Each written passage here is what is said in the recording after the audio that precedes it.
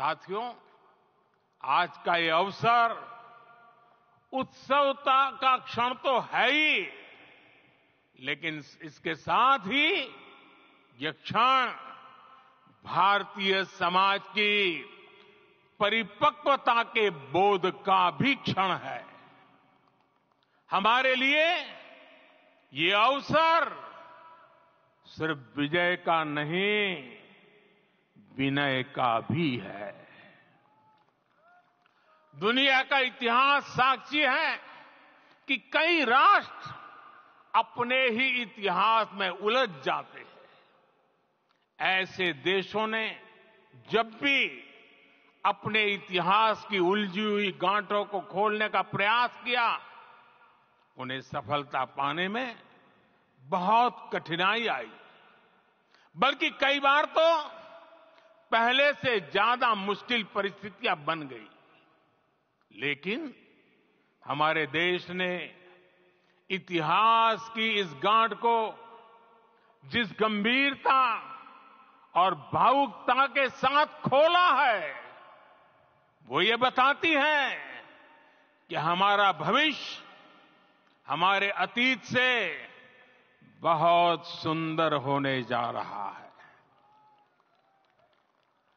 वो भी एक समय था जब कुछ लोग कहते थे कि राम मंदिर बना तो आग लग जाएगी।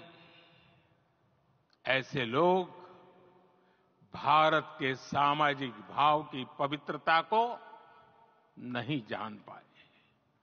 रामलला के इस मंदिर का निर्माण भारतीय समाज के शांति, धैर्य आपसी सद्भाव और समन्वय का भी प्रतीक है। हम देख रहे हैं, ये निर्माण किसी आग को नहीं, बल्कि ऊर्जा को जन्म दे रहा है। राम मंदिर समाज के हर वर्ग को एक उज्जवल भविष्य के पथ पर बढ़ने की प्रेरणा लेकर आया है। मैं आज उन लोगों से आह्वान करूँगा। आइए, आप महसूस कीजिए, अपनी सोच पर पुनर्विचार कीजिए। राम आग नहीं है, राम ऊर्जा है।